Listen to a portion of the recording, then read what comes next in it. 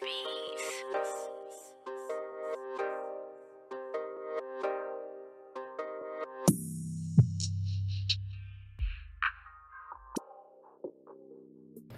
Yo, what's up, YouTube? This is your boy Junior, aka Smoking Guns, out here in Tucson, Arizona, representing the Ultimate Fight Club, giving you the latest content in boxing and MMA news that is out. So, tonight's video, this is actually an update on Devin Haney, and he's got a fight coming up with Zaur Abdullaev September 13th. And now the WBC has come out stating that this fight will now be for the WBC Interim Lightweight Championship. Dude, that is some badass news for a dude like Devin Haney, who has pretty much been climbing the ranks, trying to get an opportunity to be able to fight for a strap, and now he finally has that damn opportunity. And this is coming out in BoxingNews24.com, where it literally states, Devin Haney versus Zaur Abdullaev for interim WBC lightweight title on September 13th. And in this article, it goes on to state, the World Boxing Council has voted to sanction the September 13th fight between Devin Haney and Zaur Abdullaev for their interim WBC lightweight title.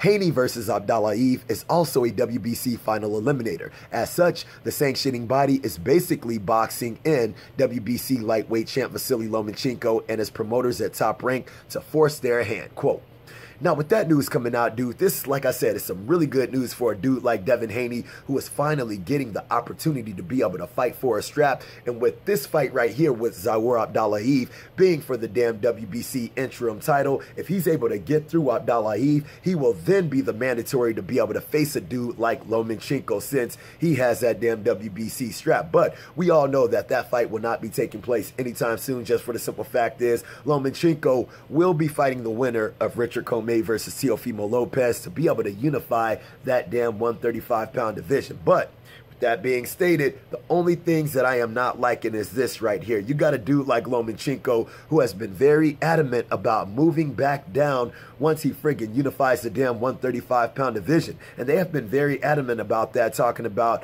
he is too small for the damn 135 pound division, talking about how the 130 pound division is his natural weight class. And I'm looking like, dude, come on.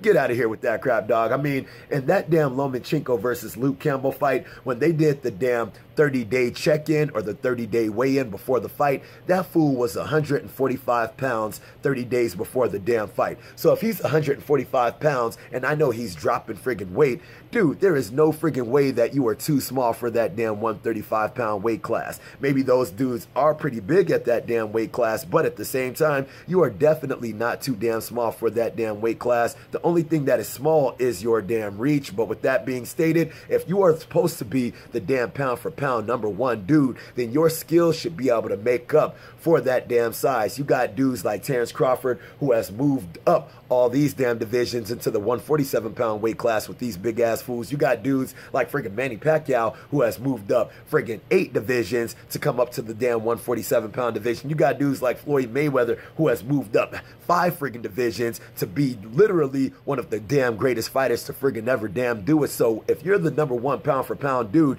I definitely do not see a reason why you got to move back down to the damn 130 pound division, especially you got a dude like Gervonta Tank Davis who is moving up to the damn 135 pound division to be able to get a crack at a dude like Lomachenko. We all know that that fight will not be taking place anytime soon because, like I said, Lomachenko is going to be fighting the winner of Richard Commey versus Teofimo Lopez.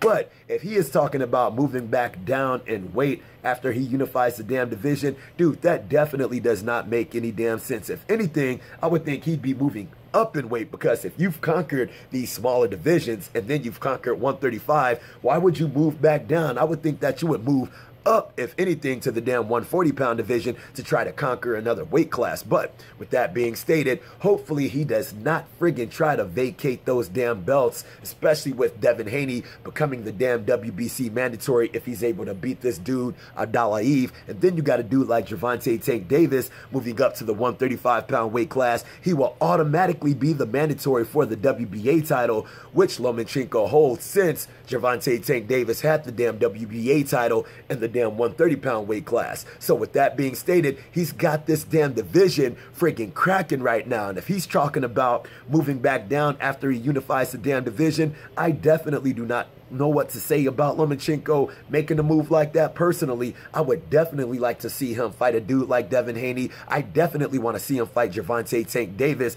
I definitely think that Lomachenko probably will fight Gervonta Tank Davis. Hopefully he fights him at the damn 135 pound weight class. Hopefully he stays there so we can be able to get some fights at, that us fans want to see, like a Gervonta Tank Davis fight, like a damn fight with Devin Haney. And hopefully we can get these damn fights cracking. All right, you guys. So I hope you guys like the video. If you guys like the video, make sure to hit the like button. If you're not subscribed, make sure to subscribe to the channel. And if you guys have any kind of questions, any kind of comments, hit me up in the comment section. I'll be sure to hit you guys up. All right. So I hope you like the video. Holla at your boy. I swear, just wait up